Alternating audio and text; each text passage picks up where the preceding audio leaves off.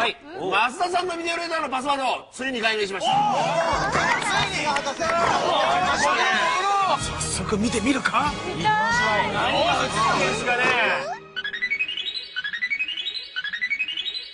ポケモー。ニング、えー。今日はポケモンサンデー。をご覧になっている皆さんだけにえー。特別にお伝えしたいことがあります、えー。実はポケットモンスター。シリー。ズの最新作を開発中です、えー2010年中には皆さんのお手元に届くように、頑張って作っています。4年ぶりの完全新作ですので、新しい舞台新しいポケモンが数多く登場します。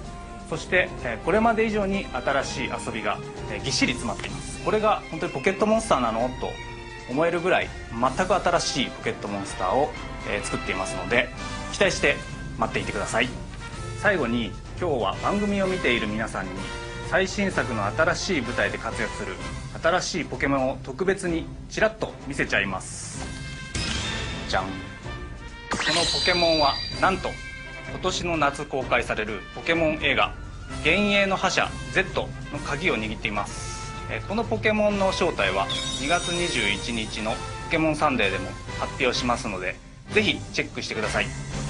チャオ。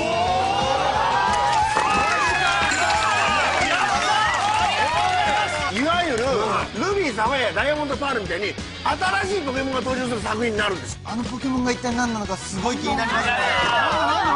またね新しい情報が入ってくるのを待ちましょう。ところで翔太、はい。もう一つ新しいゲームの情報があるらしいじゃん。あそうなんですよ。実はですね来週から5週にわたって3月6日に登場するポケモンの最新ゲーム「ポケモンレンジャー光の奇跡」を特集した新コーナーがスタートしますポケモンレンジャーのサンデーオリジナルの短編アニメもあるので楽しみに待ってます視聴者の皆さん君たちの心もキャプチャー